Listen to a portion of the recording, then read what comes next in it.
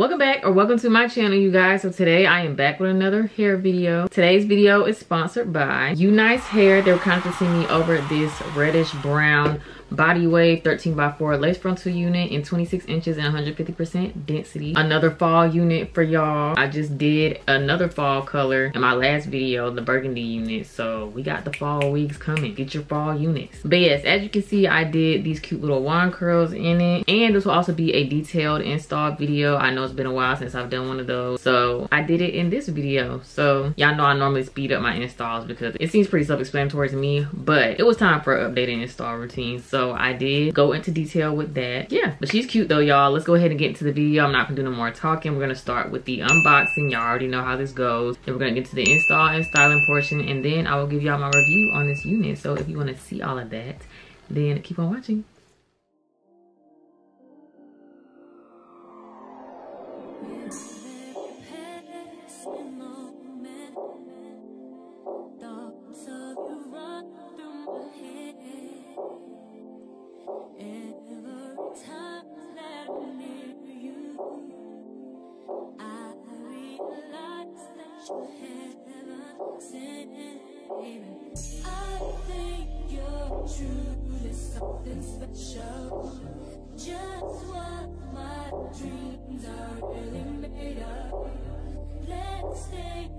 Together, you and me, boy.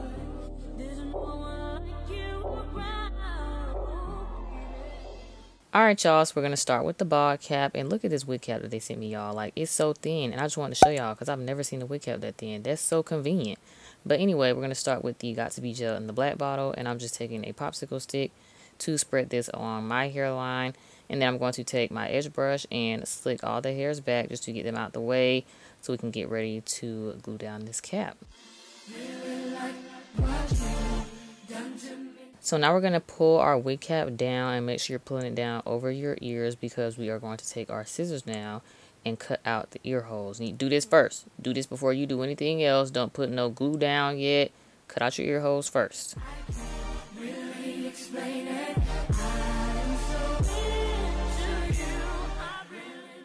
So once you've done that, now you can take your spray. I'm using the Ebin Wonder Lace Bond spray in the black can. I usually use the red can, but I ran out and my sister had the black can. So I'm using that today. It works the same, and I'm just spraying it along my hairline in the shape of my hairline and I'm taking my blow dryer and blow drying on cool to spray down my cap. That's all I use. I don't use nothing else for my cap. Once that's dry, you want to apply your makeup. I use the Fenty Beauty Pro Filt'r Hydrating Foundation in the shade 420. And I mixed that with my LA Girl Pro Concealer in the shade Beautiful Bronze. That is my shade. I had learned that I needed two mixed colors to get my shade. It wasn't one foundation or one concealer that matched me. So I had to mix some stuff. You may have to do the same thing. But yeah, I'm just applying this with a makeup brush. I use one they sent me. And I apply this before I cut my cap off because you don't have to clean up all that makeup off your forehead. So yeah, and I also apply some to the inside of my wig on the lace, you know, make sure it matches your skin tone. Now, this is where I messed up at, y'all. Do not do that. And that's where I realized I messed up at, too, right there. Don't cut that band off. Cut around the band because you see how it's trying to come up a little bit in the back? It's because nothing is holding it there because I cut that band off. So cut around the band and pull it over your head like a headband and then just cut off the rest of the cap.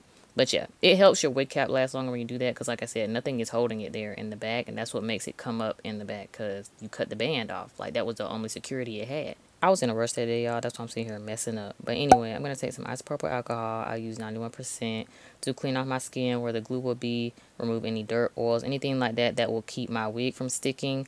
You want to clean all that off so your wig will stick, the glue will stick, and your install will last.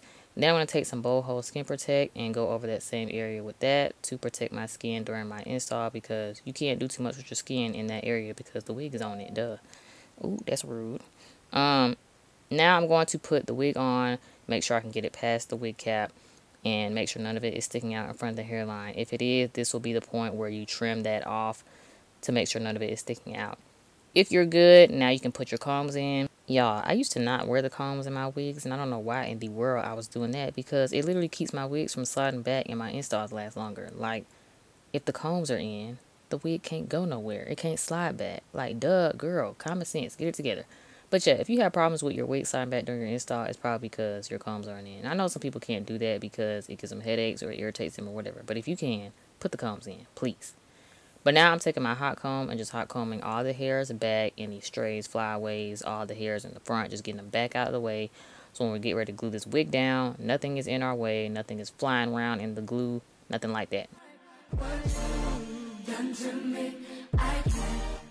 So now I'm taking this black eyeliner pencil and I just use this to dot along the hairline, basically to trace out the hairline onto my skin. It will transfer through the lace onto your skin. And that way you know exactly where to place the glue, how far up you need to go, and where you need to stop at with the glue.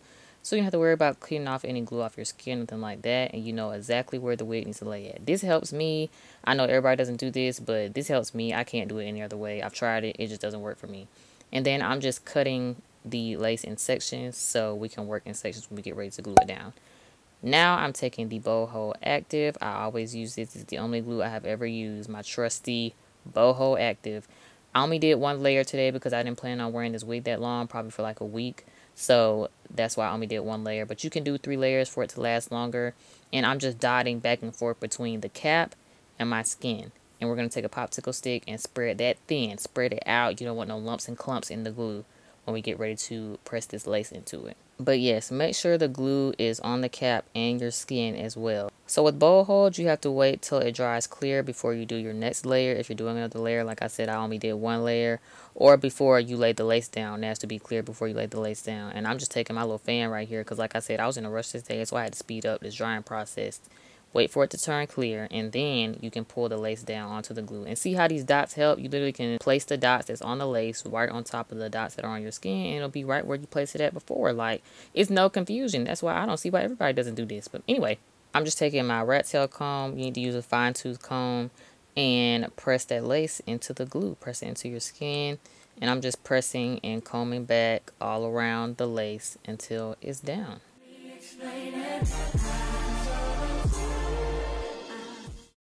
So now I'm just getting the hair out the way. I just put it up in like a claw clip or something. You can use whatever you want to use to get out the way, but just get it out the way because we're finna get ready to tie it down after we spray it with the Ebin Wonderlace spray again, the same spray we use on the bald cap. Just spray it along the entire hairline where the glue is. But this just gives it an extra hold and makes your install last longer. And it also helps contribute to the melt. I don't know what it is, but it really contributes to the melt, like melting that lace down.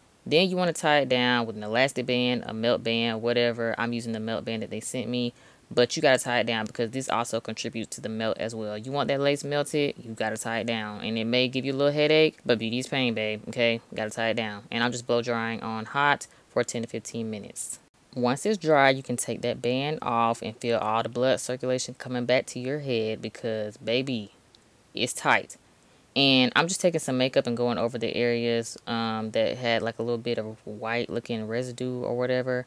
I'm just taking like the extra makeup that's on this brush and going over that. That's all I'm doing. So if you have that issue, you know, just go over a little bit of makeup. It's fine. And then I'm taking my edge comb and just loosening up all the hairs from where I sprayed that Ebin Wonderlace on it. You know, that's the plasters the hair to your skin. So, you know, got to use the comb. That helps because the teeth are so fine on the edge comb. And just loosen up all those hairs. And now we're getting ready to cut off the lace. So I use these little tiny cosmetic scissors that came in like a nail kit. You can use the razor. I know some people use razors to cut their lace off. I don't do that because I'm afraid I'm going to slice my head open. But you can if you want to and just cut the lace off. And this is the point where you would cut around your ears as well. But this wig didn't go all the way to my ears. You will hear that in the review. Um, so I didn't have to worry about cutting around my ears because it didn't go there. So yeah.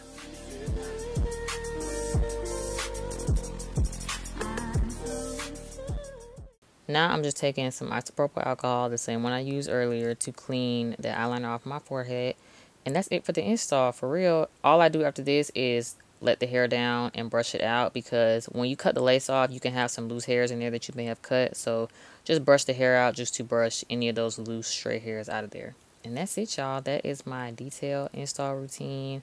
Um, I'm going to tell y'all a little bit about the styling since we're here. So I parted down the middle because I want to wear a middle part and I'm just taking my wax stick and going along the part, that area right there because when you get ready to hot comb it, it's going to make it super flat. I don't know what it is about that wax stick, but it just makes it super flat when you put that hot comb to it. So yeah, I'm taking my hot comb, going over the area where I parted, making sure that's flat and also going along the hairline with the hot comb to make sure that's nice and flat as well.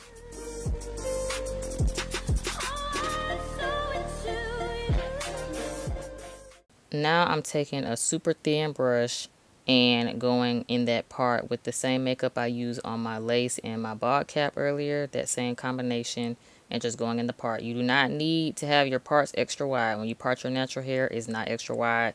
You don't need to do all that. So just put a little bit in the part, you know, make it look a little bit more natural. And I'm just splitting the hair into two sections, clipping one side out of the way. And I'm going to start on my wand curls. So I'm just taking out a small section because my wand curls are super small and I'm taking this Volumax hairspray and spraying on that section, combing it through with my rat tail comb and wand curling. I got this off of Amazon. It comes in like a set. It has different attachments, so it has different size barrels that come with it. This is the 0.35 to 0.7 inch wand, I think. So yeah, it works really well. I really recommend it. I'm going to link it in the description if you want to purchase it, but it has different attachments, different barrel sizes, all that good stuff. And then I just roll it up and pin it with a duckbill clip. And yeah, I'm just doing this the rest of the video. Y'all gonna see me do this about 90 million more times because these sections are so small. This style is very time consuming. It's easy, but time consuming because they're so small. So yeah, I'm just gonna be wand curling this entire section. Y'all gonna watch me do that just on the left side. I didn't do the right side on camera. Just the left side. I'm gonna speed that up. If you wanna watch it, you can. I know some people like to watch stuff come together it's therapeutic to them, whatever the case may be. So if you want to watch it, you can. If you don't, you can skip to where I'm done. When I finish all this, you don't have to leave your little comment saying, oh, you could have left all that out or it's too long. Baby, it's not that deep. Just skip to the part where I'm through. Some people like to watch it. Some people don't. If it's not your cup of tea, it's not your cup of tea. Just skip, okay? Okay. But yeah, that's my detailing and style routine. I hope y'all enjoyed the video. I hope it made sense to you. I hope I explained it well. If I didn't, feel free to leave some questions in the comments. I'll try and answer them as best as I can. But yeah, that's it, y'all. Enjoy the video.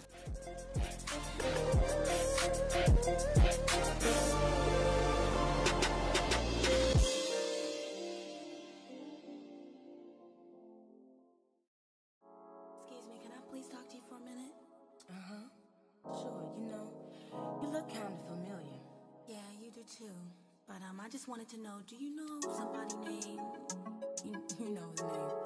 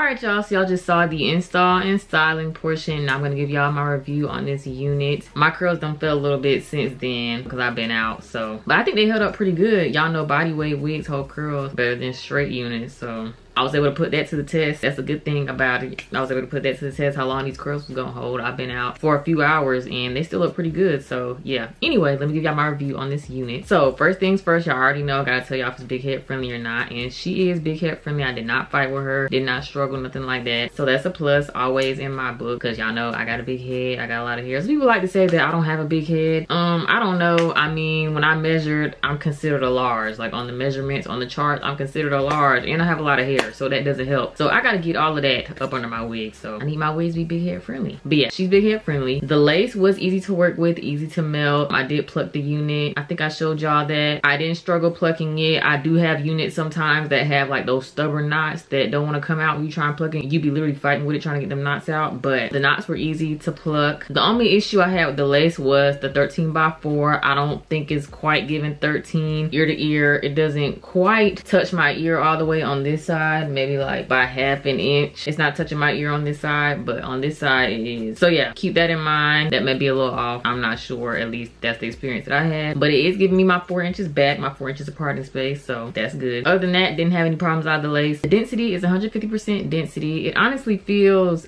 thicker than that. Like this unit is very full and y'all know i don't do thin. You know that. You know i don't do that. She's really full for for 150 like this is giving 180 almost. I've had some 200 wigs that ain't this full so somebody lying. She's pretty full. So we love that. We love a good full thick unit. Yeah love that. And then length check 26 inches. Let me stand up. I want to mess up my curls too much because y'all still gotta take pictures and stuff. I ain't took no pictures or nothing. It's already late. It's 12:34. but i'm gonna stretch it out so y'all can see. Y'all can get the um full fit details on instagram and possibly tiktok. Y'all go follow me on both of those. This ain't the full fit y'all see that on instagram. Y'all gotta go follow me there. But anyway so i'm 5'3 this is where it stops at on me. It's like right at my hips. So I feel like it's giving 26 inches. Let me turn to the back so y'all can see where it stops. So yeah, it's past my butt in the back. So definitely giving 26 inches past the length check test. Tangling and shedding i really don't have any issues with it tangling and i really don't have any issues with it shedding either which is surprising because you know color units shed a little bit more. So i'm really surprised about that. The shedding is not bad on this at all. Like it's like little to none. So that's always a plus. plus. And i really think that's it y'all. I really think that's all i have to say about this unit. Oh the curl. Like i said it's a body wave wig and these curls did last. Like they've lasted me all night. I curled this hair at 8 o'clock this morning. I left it pinned up until like 6.45 when I took them down and it's 12.36 now.